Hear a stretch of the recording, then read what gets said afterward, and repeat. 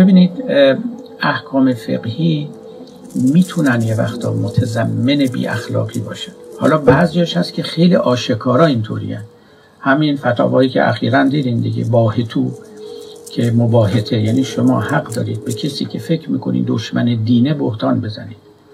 مطلبی بود که من در برش نوشتم آیت الله مومن که جزو شورای نگهبانه ایشون صریحا تو کتاباش نوشته که این کار میشه کرد.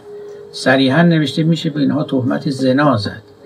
یعنی به اینا میشه گفت آقا شما روابط نامشروع با این اون داشتید و اینجوری بدنامشون کنید آلودهشون کنید که مردم از دورشون پراکنده بشن و نتونن خسارتی به دین وارد کنن. خب این اسمش مثلا مباهد یه روایتی هم نقل می‌کنن که مثلا در روایت گفته شده از چنین و چنین. خب این آشکارا غیر اخلاقی است دیگه. ببینید من این رو همیشه گفتم در مورد آقای خمینی یک بار.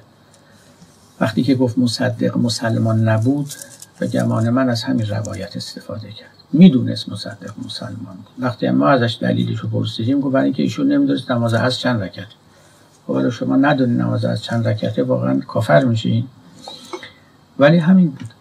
حالا ببینید اینا غیر اخلاقی. و آره هر جا که چنین تعارضی رخ میده ما بدون تردید باید جانب اخلاق رو بگیریم. ولذا فقیهان ما که اینقدر به روایات فقهی اهمیت میدن یعنی اصلا تبدیل به یک متدولوژی میشه. چون فقیهان ما وقتی که به روایات فقهی مراجعه می‌کنن دنبال سندش میگردن. ببینن این سند چقدر قویه و و حدیث چقدر صحیحه و موثق است. یه ملاک دیگه وجود داره و اون که غیر اخلاقی نباشه. به این نگاه نمی‌کنن. میگن ما روایت داریم میشه بهتان زد. فکر نمی‌کنیم آقا روایت داریم یا نداریم؟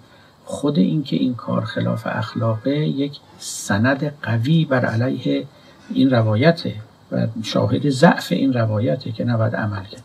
به این نگاه نمی‌کنن.